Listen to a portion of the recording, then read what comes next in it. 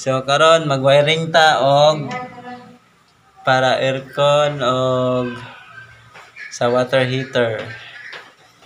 So ang ilang existing na linya is four branches ra no. So wala tay wala tay bakante nga breaker. So ang atong buhaton na ni mag mag surface type ta nga breaker duha ka buok. Dire ipangutang sa tag-iyaw. So molding na lang din ta. Kasaka din ya ang aircon. So ato na ning sundan. So karon na na okay na to ang ano itong setup sa breaker o na molding na sa nato.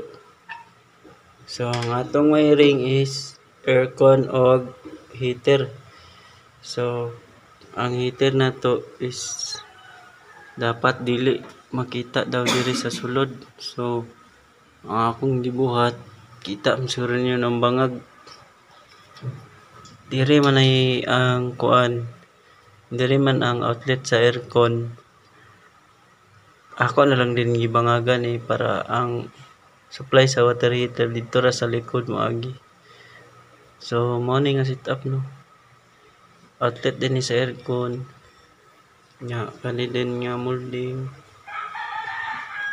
Na So dapat na kay ko ano kuan nimong naka 45 ah, naka naka nakaskwala ka para nindot butanawon niya libilan pud nimo imong mga molding kani ning breaker so surface type na lang gigamit kay ah, may laing chance nga madali og taod nga magamit nila. So wala na nato gibakbak kay dako na yung trabaho kung alisdan pa ang 4 branches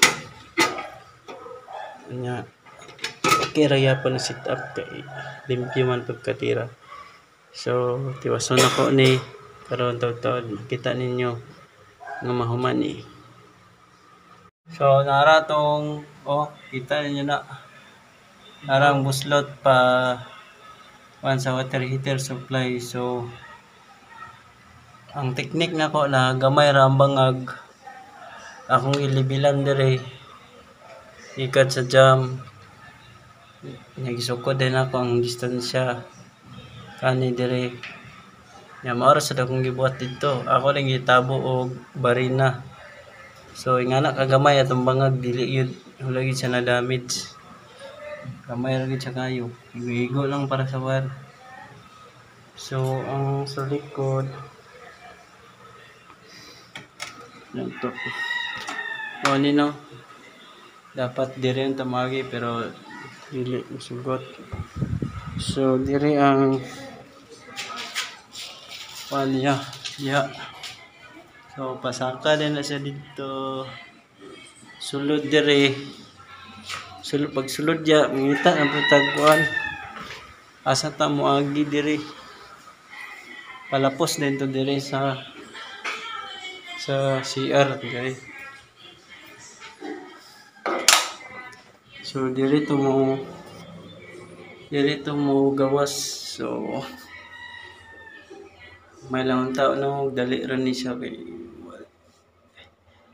na fix na ra ba ni tanan so na existing outlet dili man siya pwede nga kaning heater i-tap ni mo ya kay kaning outlet nakasagol na ni siya daghan ni sila kauban So, butang tag discard yan eh.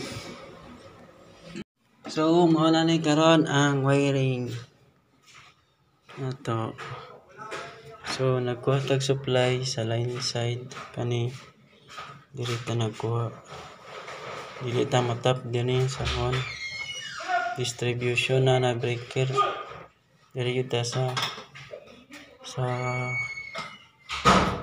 yahang line side kaning dako medyo dako so maning line side so mo din yung forma plaster na lang kulang maplaster ni siya karon so mo ni ang sa heater kani So, pasaka.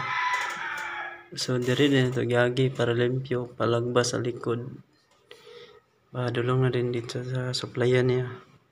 Kani din ang aircon. Yan, diri, diri ra ni taman sa outlet. So, mara ni. Hapit na mahuman. Gamay na lang, gamay. So, land side, make sure na hugot. Hugot yun siya. Balik niyo kay manikos ug sunog. Kung hi, init, luag, ah, kung luag init, manay kos og high ampere. So, make sure na to na hugot yun sa tanan. No, so,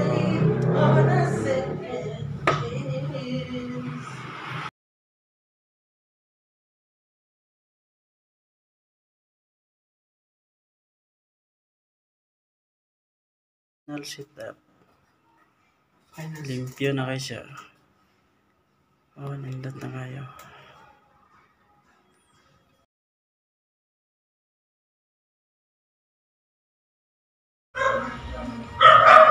Wala na yung molding patulong sa CR morning sa water so medyo galisok ka na kayo ganti ka nito. So nagmolding ko. Wala din ako ng gipotol ako rang gipotol 5 dito para wala siya liki o kita.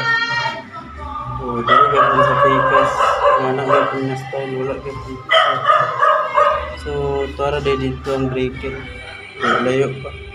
Layo layo at ang gidaganan kanina yan? Mga nagpasulod dito sa CR nga magmolding guys. Para dili siya ma putol imo lang 45 dito yung, yung mismo nga ah, mismo niya nga molding 45 dito di na putol go! So nahuman ang ginamo ang wiring. Ang gabihan may kay grabe kapiot ang narkuba. So nara ang outlet so na kuan lang. Is na ay nabuwasot naro nabuwasot ang helper. Tagak dire ah. Nagok imbangag lisod kayo gamay kay clearance. So successful installation. Thank you